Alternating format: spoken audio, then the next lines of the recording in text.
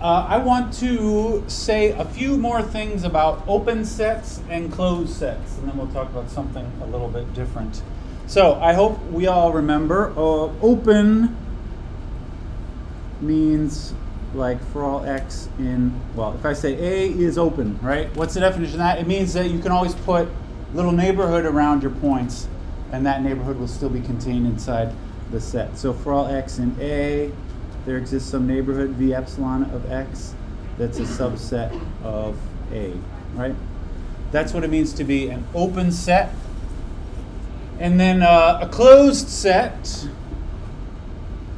In our book, they often use A for open sets and F for closed sets. I'm not sure why. And remember, what's the definition of a closed set? Yeah. Contains all of its limit points.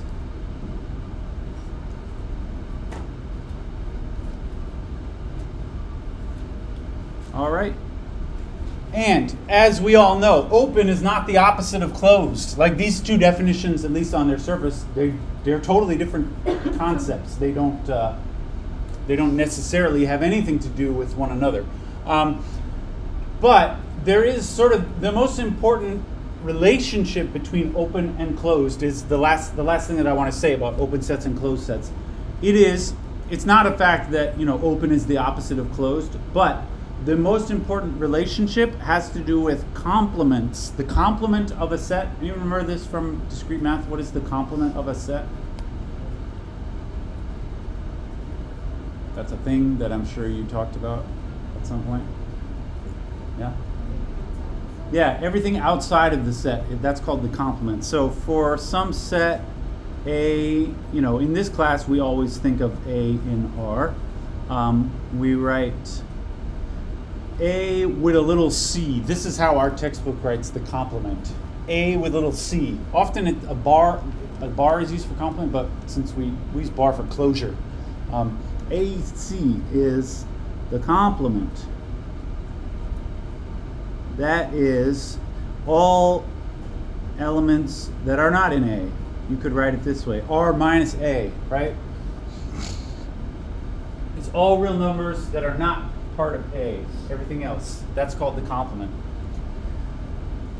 And the fact about open and closed, it's not, it's not that open is the opposite of closed, but the appropriate and actually true fact is that if you start with an open, the complement of an open is closed and the complement of a closed is open. That's what I want to try and get to today. So this is, I'll write that as a theorem. One of those things that I said is kind of easy to see just by thinking about pictures. The other one is a little more involved, but nothing, nothing too hard. But yeah, I'm just going to say the complement of an open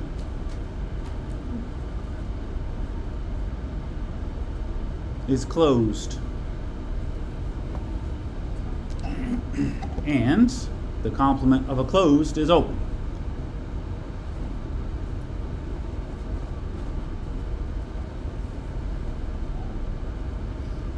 Open.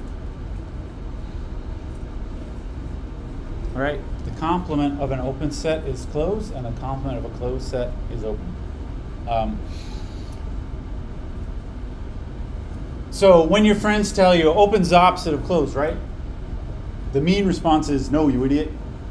They're totally different concepts. The nice response is, well, it's not the opposite, but like if you take the complement, the complement of an open is closed, and your friend will feel like that. Yeah, that that must be what I meant, right? That kind of kind of means the opposite. It's not really, but um, the complement is kind of like the opposite of a set or something like that. I don't know. Depends how charitable you want to be to your friends. Uh, the complement of an open set is closed and the complement of a closed set is open. So I said the first one actually is fairly easy to see on pictures. So I'm going to do, let's do the proof of this, but the first one I'm just going to draw some pictures. So the first one, the complement of an open set is closed. Remember an open set, this one's easy because open sets, they all basically look like uh, a union of open intervals. That's what an open set looks like. It might be just an open interval or it might be a bunch of different open intervals. So an open set looks like, you know, something like this, an open interval maybe next to another open interval and another open interval, something like that, right? There could be infinitely many of them if you want, but it, it, they all basically look like that. That's what an open set looks like. Um, I want to show the complement of an open set is closed. Well, if an open set always looks like this, then its complement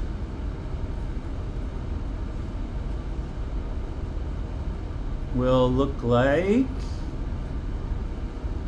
What would the complement look like on that picture?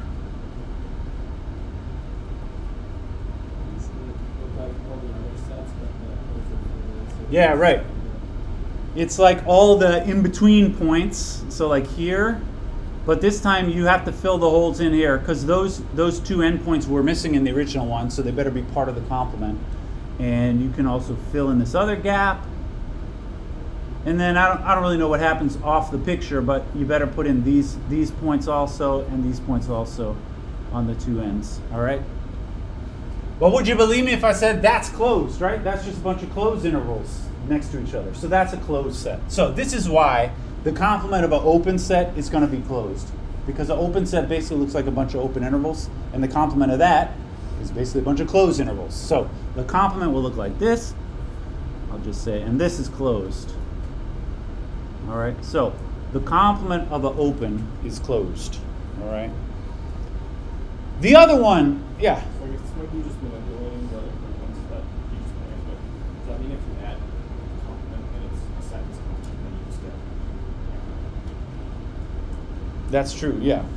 A set union its complement is is all of R. That's always true, yeah. That's not even a property of real numbers. That's that's just a general set theory property. And the intersection is the empty set because nothing is in both the original set and its complement. All right, so this what we've uh, so far. The complement of open is closed. All right, that one's kind of easy because all open sets basically look the same. Closed sets, though, so the complement of a closed is open. This is uh, more involved because closed sets can be kind of wild. Uh, closed sets do not all look like intervals. They can look like other weirder things. Actually, most of uh, today's class, we're going to talk about a particular very weird example of a closed set. So the second one, let's try this. This one we actually have to get a little nasty with it in terms of the proof. So um, we have to show the complement of a closed set is open. So I'm going to say let F be closed. And then I want to show that F complement is open, right? We have this this one you have to kind of write a more detailed uh, proof. I'm going to show the complement is open. So what I have to demonstrate is this complement is open. How do you show something is open? You have to take any point in the set and then explain why the little neighborhood around that point is contained in that set. So when I want to show f complement is open, I have to say something like take x in f complement. And what I want to show is that there is some small neighborhood around x. I want to show there exists v epsilon of x that is a subset of f complement, right? That's the definition of an open set, but I'm using my, the set I'm talking about is f complement. So I take some point in f complement, I have to show there is a neighborhood around that point, which is a subset of f complement. All right,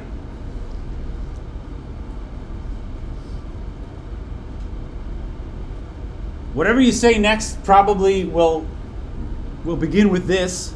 That's all we have to work with is x is in f complement. That means, what does it mean to be in the complement? That means x is not in f. That's, that's what the complement means, right? If x is in the complement, then it's not in the original set. And all we know about the original set is that it's closed. Um, closed, of course, means it contains all of its limit points, right? Anyone uh, want to suggest where we can go with this? I'm going to say since f is closed, x not in f means something about x and Yeah? X is not a limit point. Of f, right? f is closed, so all the limit points of f are in f. And x is not in f, so x is not a limit point.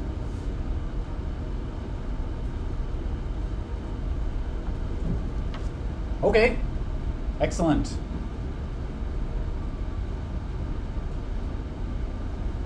Not a limit point. What does that mean? Uh, remember, if I said it is a limit point, that means something like x is here. If x is a limit point, it means there's a bunch of points that get like really close to x, right? From from f. But it's not that. So what that means is it's not that. It's it's more like x is just like over here somewhere. It's it's not right next to a bunch of points from f, all right? Is that is that what we wanted?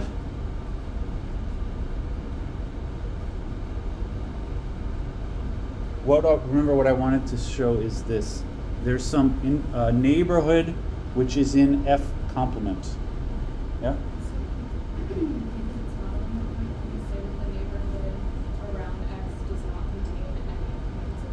Yeah, right. Because this is not a limit point, it means, in fact, there is a little neighborhood around here which doesn't hit any points from f, right? That's what it means that x is not a limit point. So x is not a limit point of f, so there exists some neighborhood of x with um, v epsilon of x contains no point of f, right? The neighborhood around x does not include any points of f. That's what it means that x is not a limit point. And I think that means what we wanted to show. This is weird language, but this says the neighborhood is a subset of the complement. That means everything in the neighborhood is not in f, which is what this means. This contains no point of f. So this is actually the same. V epsilon of x contains no point of f, i.e. V epsilon of x. Maybe I'll say it this way. Every, just to make it clear, every point of V epsilon of x is outside f, right? That's what this means. So that means V epsilon x is a subset of F complement. And that's what we want.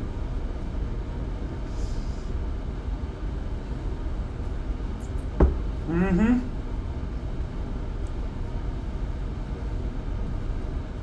There you go. This is mostly a bunch of a bunch of definitions, but a, a little a little tricky, I suppose. Um, I saw a tweet this weekend, some some like uh, viral math tweeter. It was a they said, um, "What do you like to write at the end of your proofs?" It, I think it was like a Twitter poll, QED, or there were a few different choices. I replied, "Shun." I got zero likes, zero re- retweets. I, nobody really nobody follows me on Twitter, so I'm used to it. All right. Any uh, any thoughts about that? So remember the the moral of the story: the complement of an open set is closed. The complement of a closed set is open. All right.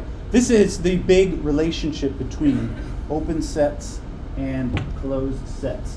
One last thing I want to say before we talk about, I said we're going to spend most of our time today talking about a particular weird example of a closed set. Um, if you recall, we showed a while ago, recall, that any um, union of open sets is open. Actually, this was one of the one of the test questions.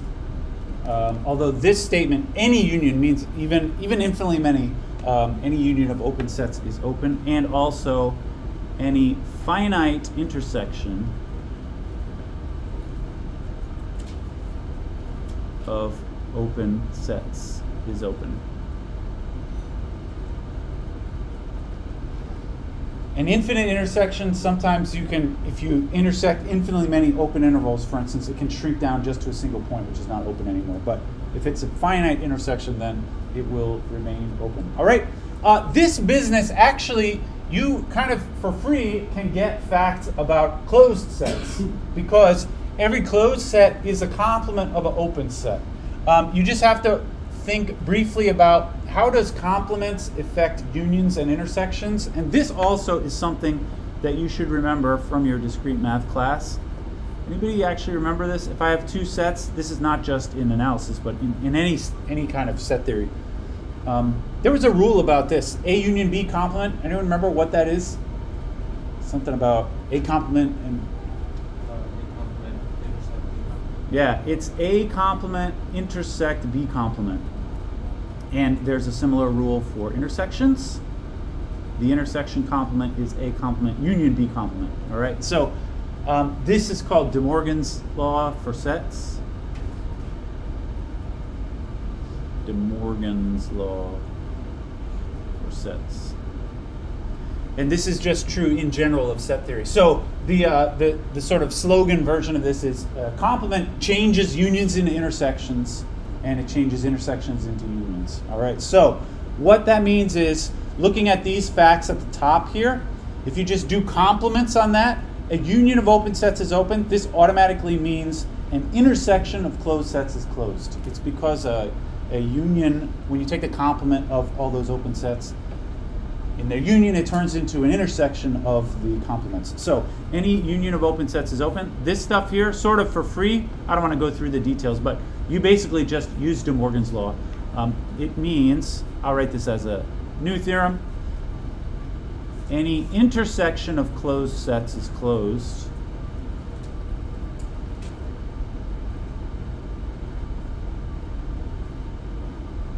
Even an infinite intersection of closed sets is closed. This is why, for example, uh, well, uh, this should remind you of the nested intervals property. That nested closed intervals, when you take their intersection, you can end up with something that's not an interval anymore. It can be like a single point, but that's still a closed set.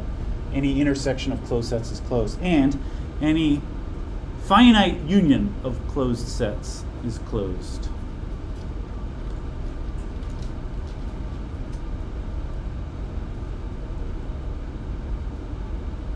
It is possible to make an infinite union of closed sets and it will become something that's not closed anymore. But if it's a finite union, any finite union of closed sets is closed. All right. And this is the end of what I want to say about open sets, basics of open sets and closed sets. Any thoughts about all that? Complements play nice with the open sets and closed sets. All right, great. So we got 30 minutes left. Um, I want to talk about an important, I will say, wild example of a closed set. I've said often that open sets are not really wild. They are just op open intervals next to each other. That's what open sets look like. But there can be closed sets which look very different from closed intervals. Uh, this is an important example closed set. It's called the Cantor set. Cantor, this is the guy who uh, came up with the idea of different sizes of infinities. And he also talked about the Cantor set. You know, Cantor, um, his original proof of that, that thing, the, the R is uncountable, used the nested intervals property. So he was very much into um, this kind of, this type of uh, analysis that we're talking about. The Cantor set, here's what it is. It's a little bit hard to visualize. It is a closed set, which doesn't look like an interval. And unfortunately, you can't really draw a picture of it. And you also can't draw a neat little definition of it. So when your friends on the playground ask you what, what exactly is the Cantor set, it involves a long explanation, unfortunately. But once you have the idea in your mind, it's not it's not so. I mean, it's very weird, but it's not so hard to understand. Anyway, the way you construct it is it's sort of built in stages.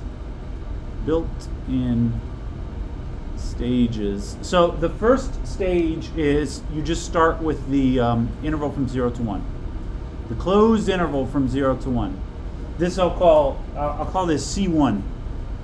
All right. C2 is the next stage.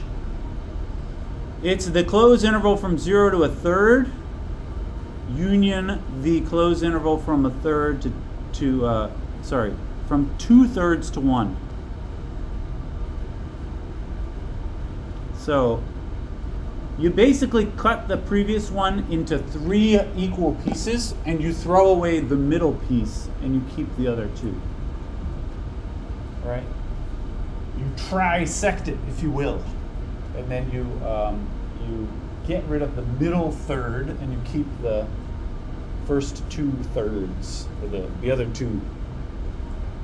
All right, that's the second stage. The next stage, in each stage, you remove the middle thirds of everything that you've got. So the next stage looks like this. These guys and these guys. Right? Every time you take all the intervals in, in the set that you've got so far and you remove the middle of them. So the next one, C4, would look like this is about as small as I'm going to be able to draw on my paper here.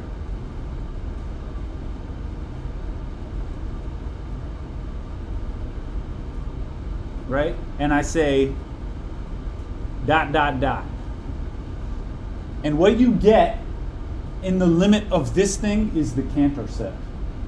Um, the appropriate question is, what do you mean dot, dot, dot? And what do you mean like what, what you get in the limit? Well, actually, you can say pretty clearly what you mean by this sort of dot, dot, dot. So the definition, the Cantor set is C, all right?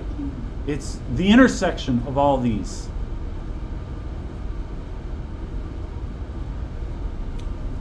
The intersection of all of those. This kind of looks like nested intervals. I mean, they're not, the whole thing is not intervals each time. It's like a union of intervals. But uh, you just take the intersection of all of those. And that's the Cantor set.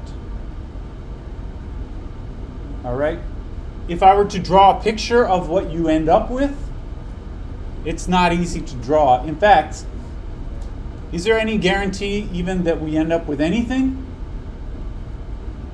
Or is this, I mean, could this be the empty set? Actually, it's not the empty set. If it was, I wouldn't be talking about it. But uh, can anyone say, like, can you tell me a number which, which exists in this set? Yeah? Yeah, zero and one are both part of the Cantor set because they never get they never get eliminated. Every time you are you're wiping out the middle of each of the intervals, you never eliminate the end uh, zero and one. So I will say this includes zero and one. Can anyone say uh, another number which this includes? Yeah, one third and two thirds. These these numbers here, right? Those were not uh, original endpoints, but they were endpoints in this intermediate step, and they never get removed uh, after that. So 0, 1, 1 third, 2 thirds. Any other? Yeah, all the endpoints that ever appear in any of these intermediate stages, those endpoints are never removed. Um, basically, everything else is removed of, other than those endpoints. And what exactly are those endpoints? It's not really easy to say. You could say something like they are. Um, sorry, what I just said is not is not true. The endpoints are not the only thing that ends up in the set. That's actually part of what's weird about this. Um, let me just say it includes zero, one, a third, two thirds.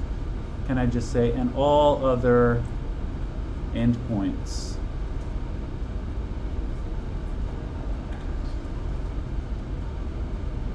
of intermediate stages.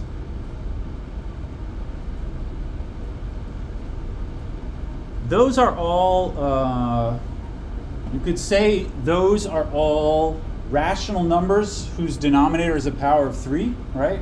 Because the, in the next stage, they would be like uh, one ninth two ninths, not three ninths though. Well, no, three ninths would be in there because that's one third. But there's some, there's a ninth right in the middle, which would not be part of, of this set. But some of the ninths. Um, a number like one fourth is not in the Cantor set because it's not a ninth. It's not a it's not a power of three in the denominator. All right.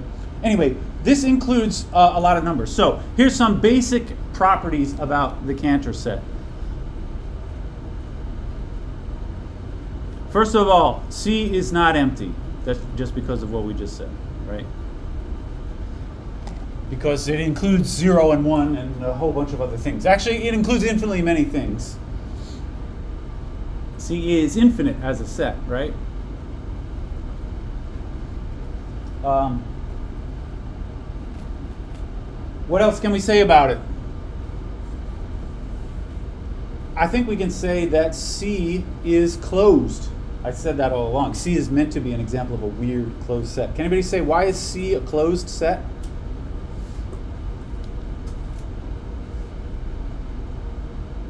How do you know it's closed based on something we just said? Yeah, because it's an intersection of these things are definitely closed, right? These individual intermediate steps are all unions of closed intervals. And any, uh, we just said this, right? Any intersection of closed sets is closed. So the Cantor set is an intersection of all of these things which are made up of closed intervals. So C is closed. All right? It's a non-empty closed set. It's infinite. In fact, um, any any thoughts about is it countable or uncountable? This is how you know actually those endpoints are not the only points in it. If um, if the endpoints are the only points in the Cantor set, then that means that every element of the Cantor set is is rational because these endpoints are all rational. They're all like ninths or whatever. But actually, it turns out the Cantor set is in fact uncountable. Um, that means its cardinality is the same, the size of R, not of uh, Q. So I want to try and explain why. The Cantor set is uncountable. Uh, why is that? It's a little difficult to um, prove that a set is uncountable. That remember the way you to demonstrate it's uncountable means the elements of this set cannot be listed in a list where the elements go one after another, because that, that would be countable if you could write them in a list. Why is it uncountable? Well, um, if you want to choose a point, I'm going to I'll copy this picture down just so that I have it down here. Let's say I have a point in mind in the Cantor set that actually like survives all the way to the end, right? Let's say this is x in, in the Cantor set. Um, there are many ways to describe what x is. Like as a real number, I suppose you could try to write down the decimal digits of, of x, but that is, um, I don't know, that's, uh, that's a little tricky to, not useful for what I'm going to try to say. Another way you can describe x is um, points in the Cantor set. Come on. Can be described um, by lists of, I'll say, L's and R's, meaning left and right. Uh, if you think about how can you describe exactly where X is, you could describe it in terms of like, give me directions on how to get to X if I start from the top. In the first stage, should I go to the right or to the left? The answer is to the right. If you want to end up at X in, from the first stage, you better go to the right. And then in the next stage, which way should I go? To the left to get here, right? Just think about every time you go down one level in this sort of hierarchy, you either have to go on the left side or on the right side.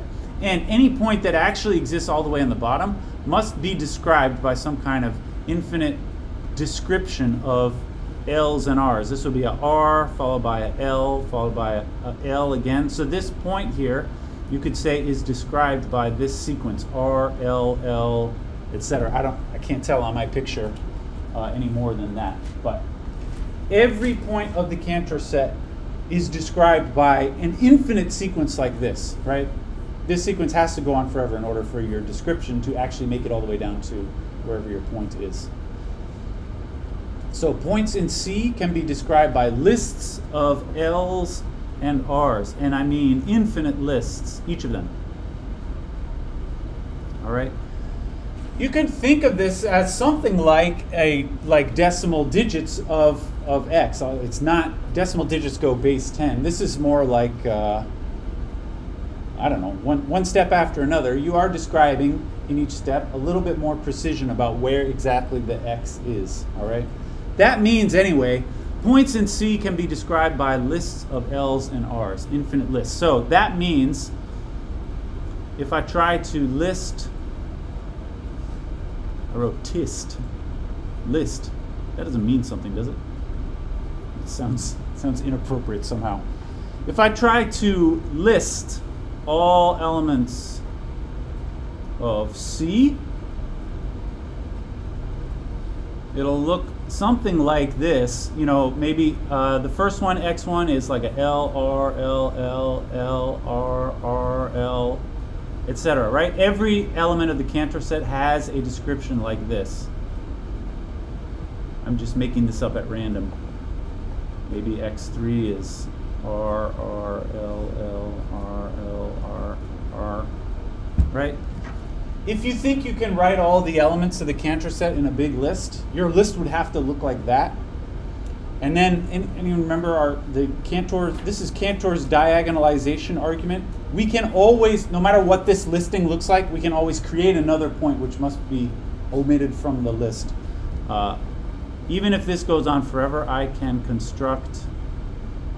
I can. I wrote can twice. I can construct points missing from the list. You remember how to do that? What, what would it look like in this example? Yeah. Yeah, you look at the diagonals here.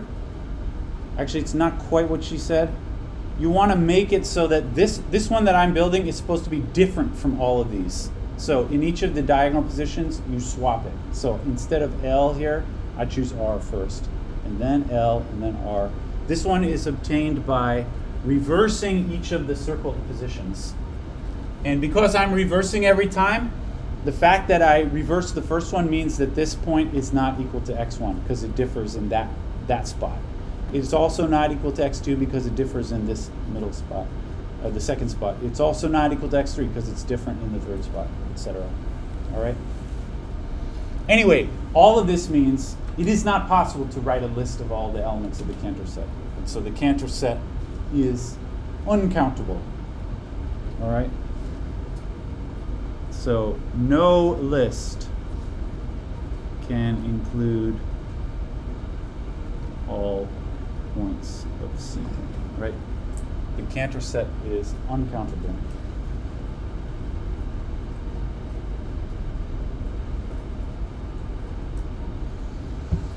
All right, there's another nice description of the Cantor set in terms of numbers in base 3. If you write all your numbers in base 3, like decimals, decimal expansions, but in base 3, it's basically the same as these R's and L's. Um, these are numbers, these numbers and these numbers, if you think of decimals in base 3, these are the numbers where the first decimal digit is a 1. These ones are where the first, sorry, these are where the first digit is a 0. These are where the first is a 1, and this is where the first is a 2. If you think of digits after the decimal point being 0, 1, or 2. All the zeros go here, that's less than one third. All the ones go here, all the twos go here. The another way of describing the Cantor set is this you could say to your friend on the playground as a, as a simple definition of the Cantor set. It's all numbers in the interval 0 to 1, where when you write their decimal digits, base 3, there are no ones. That's what it means. The fact that I removed this, I removed all the numbers which have a 1 after the decimal point in the first position. This spot and this spot are the ones which have a 1, 2 positions down in the decimal uh, expansion, and so on. That's kind of confusing though. um, to your friend on the playground. Anyway, C is uncountable. This, by the way, means there must be many more points than just the endpoints. Because, for example, all the endpoints are rational numbers. But if this thing is uncountable, that means it has to include many irrationals. Because all the rationals are, are countable by themselves. Yeah. No.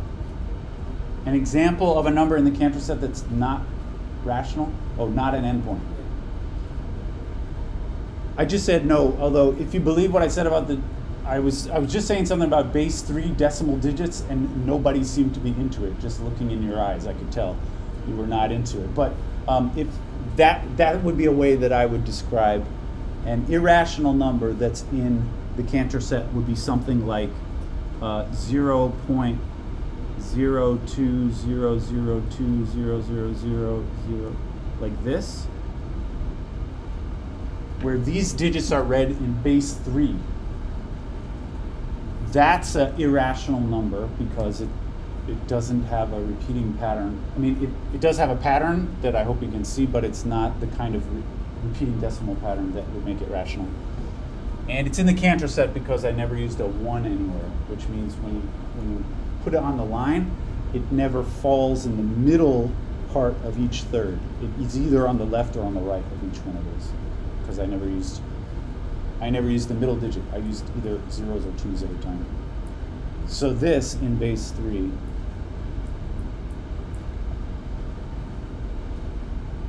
um, is irrational, and it's in the Cantor set. Yeah, strange but true. Base three. I shouldn't say decimal digits. Base three. Decimal means base ten. The the word should be. That's called ternary sometimes, ternary digits. I've heard it called tresimal, which sounds stupid to me. Um, all right, we got 12 more minutes. Some more, uh, some more interesting facts about the Cantor set. Really, I only had one more to talk about today, and then another another one we can talk about next time. Um, C is closed my last fact is C is not open.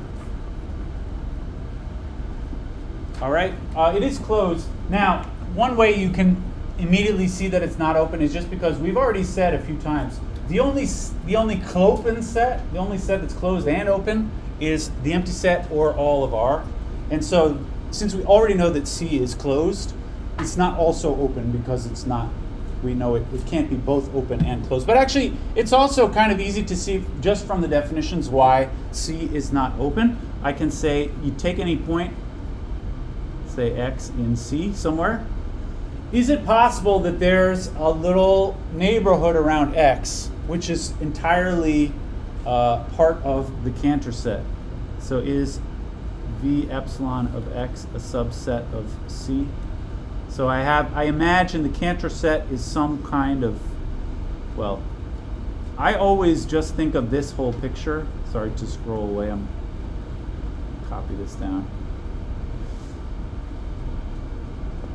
Cross the page break. All right. If I have some point that's actually in the Cantor set down here in the intersection, is it possible to find a small neighborhood around that point, which is totally inside the Cantor set? Anyone have a feeling about that? I see some shaking of the heads. Can you give me uh, maybe a reason why? How do you know that this interval entire this entire interval cannot all be part of the Cantor set? I would say it has something to do with the way that this is constructed in, in stages. I don't know.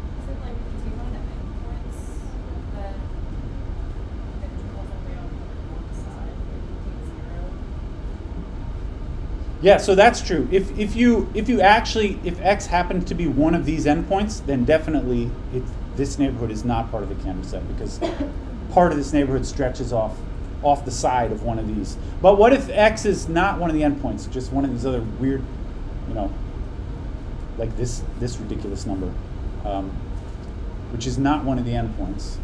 Could you put a little neighborhood around it without stretching outside the set? No? Say that the last decimal So, so like if you have it theoretically stretch all the way down, it's like theoretically but because it's on so far down, Mhm. any neighborhood would have to have outside. Yeah, so this, if you want to think of it in terms of those uh, base three expansions, you can say any real neighborhood of this point, this contains all real numbers near that point. Uh, many of those real numbers will use one in their decimals, right? I mean, they, to be numbers use up any any digit in their um, in their decimal expansion. So yeah, that's one way. This is not the way that I was going to say it, but uh, yeah, any no matter how small that interval is, it must contain real numbers that use one in their decimal digits somewhere. And those numbers are not in the Cantor set. And so that means this little interval cannot be part of the Cantor set. Um, I was going to say this is maybe no better in terms of technicalities, but um, this the, the whole point of the Cantor set is every um, in every stage you remove the middle of whatever intervals remain. All right, it's not possible to have an entire interval at the bottom because if there was at any stage an interval, the next stage would just remove the middle of it, right? And so any interval like this um, couldn't exist as a full interval in the Cantor set because in previous stages it would have had the middle of it cut out at some point. All right. Um, so my answer to this, I'm, I'm not going to try to write all the details for that, but is the epsilon neighborhood part of C? I'm going to say no. C actually contains no interval, either open or closed, it doesn't matter. C cannot contain any intervals because part of the construction of the Cantor set is that every interval is going to get its middle chopped out at some point. C contains no intervals since intervals always have their middles removed. And so it's not possible to end up with an entire interval, no matter how small it is. You can't end up with an entire interval, that somehow survives all the way to the end because its, its middle should have been chopped out at some point earlier on. All right? Um, the very last thing that I want to say about the Cantor set, and this we really don't have time to get into it, so I'll just I'll just give you a little very brief introduction. The Cantor set is what they call a fractal. Maybe you heard about this. A fractal. You've probably seen some very fancy pictures, and I uh, I'm going to bring some fancy pictures of fractals to uh, show us next time. But what that means is that a question? I have a question. Yeah. It's not necessarily about the practice. Oh, okay. It's about the set in general. Yes. Is there a reason why it's like in thirds and not like quarters or fifths? Uh, no. So this, uh, there are actually many Cantor sets. If you're talking, you know, you meet someone in the club and you're talking about the Cantor set and you want to be more specific, this is sometimes referred to as the middle third Cantor set. Um, there, you can do the middle fourth Cantor set. They all have basically the same properties. The middle fourth Cantor set um, is, I suppose, uh, you cut the middle fourth. You keep a little bit more stuff than in the middle third Cantor set, but you still you're still going to get the, basically the same thing at the end. Like it's the individual points are not the same points, but it they, it has all the same kinds of properties. Yeah, that's a good question. Um, there's no you have to do at least thirds. So there's no such thing as cutting it in half. There's no. I don't. know. Hmm. Nah, not really. I mean, it's it's a little. You can remove the middle fourth of something if you want to. No. No, no I mean, if this whole length is one, right? It is possible to make that one fourth. it's just a little weird. Like then the two the two ends have length, I guess three eighths each. Like it's weird, but it's possible. Yeah. Yeah, I suppose it works out nicer if it's an odd, an odd denominator. Yeah, then it's a little nicer. Yeah. Uh, let me just say what, what I mean by fractal, and then we'll, we'll talk a lot more about this uh, next time. Um, a fractal is, uh, sometimes we use the word a self similar shape. Self similar, meaning the shape looks the same as itself at a smaller scale. Uh, what I mean by that is if I look at the whole Cantor set, which looks, it's some limit of this kind of thing, right? Um, here, C, all of C versus what if I only considered the right half, the points on the right side, versus considering the whole thing. Now, the points on the whole thing, I have eliminated the middle thirds of a bunch of segments. Actually, maybe, can I say, I'm just going to circle the left side instead. Doesn't really matter, but. Um, all of C versus just the left side. The left side, in, in terms of the end point of it, the left side is like kind of half of it, right? Um, but if you took that half, the left hand side, and multiplied everything by um, two or maybe two thirds, you could get this whole thing to like evenly stretch out to the whole width, right? And if they stretched out, because of the weird sort of infinite nature of this thing, actually this would stretch out to be exactly the same picture again, the whole thing, right? Because all the middle thirds would still be removed. So all of C versus just the left side, these sets are geometrically the same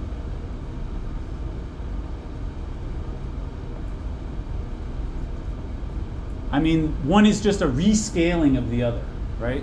The left side is just a rescaling of the entire picture. This is what I meant by that, that phrase. The picture is self similar. That is, the whole thing is a rescaling of one of its parts. This is very strange, um, and it's hard to think of ordinary examples that are like that, apart from very ordinary things. So uh, I'm going to say um, uh, the whole set is a rescaling of one of its parts. All right. Um, if you tried to make a shape like that, you probably wouldn't be able to. This is a very strange property, except for very similar, very simple things like a line segment has this property. If I only consider half of the line, this the left half of the line is a rescaling of the whole line. That's true. But anything else, you know, a curvy line, that's not true anymore. It's not true that the left half of this curvy line is a rescaled version of the right half. Um, not in general, at least. This, um, it's not only just that the half here, but actually, if you if you grab any little subset of this, it is a rescaling of the entire set. Yeah. It's kind of like if you were to zoom in at any level. Yeah, if you zoom in to any individual point, it just looks the same forever, all the way down. Yeah, right. And this is probably, if you've seen pictures of fractals, that's probably what you've seen. They have these very sort of psychedelic zoom in um, properties. Yeah, we'll see. We'll, we'll talk a little bit more about that next time. See you next time.